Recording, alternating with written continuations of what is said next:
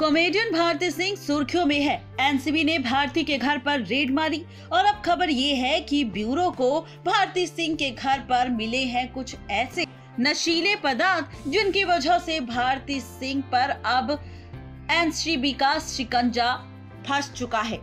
आज सफलता के शिखर पर पहुँच चुकी इंडस्ट्री की चोटी की कॉमेडियन भारती सिंह का बचपन कितनी गरीबी में कटा था, आज इसका खुलासा हम करेंगे।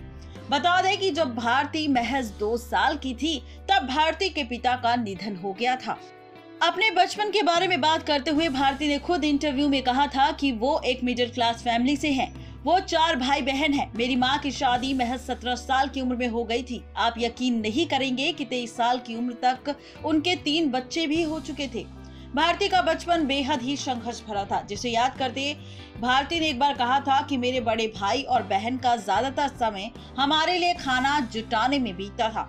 कभी कभी तो हम भरपेट खाना भी नहीं खा पाते थे। वो कहते थे ना कि वक्त बदलते ही सब कुछ बदल जाता है। सही कहते हैं, साल 2008 में आए the great Indian laughter challenge के चौथे सीज़न ने भारती की किस्मत पलट दी। इस शो में भारती ने एक करेक्टर प्ले किया जिसका नाम लल्ली था। इस करेक्टर को फैंस ने काफ़ी पसंद किया। भारती की कॉमेडी का डंका बजने लगा।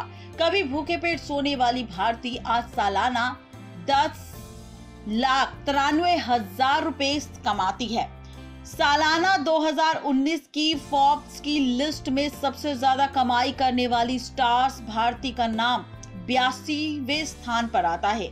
मौजूदा समय में भारती को इंडियाज बेस्ट डांसर और द कपिल शर्मा शो जैसे शो में धमाल मचाते हुए भी देखा है। तो यह है पूरी सच्चाई जहाँ पर करोड़ों की मालकिन बन चुकी है भारती सिंह और उसके बावजूद भी कर रही है ऐसे कांड। नेक्स्ट नाइन लाइव से रजनी की रिपोर्ट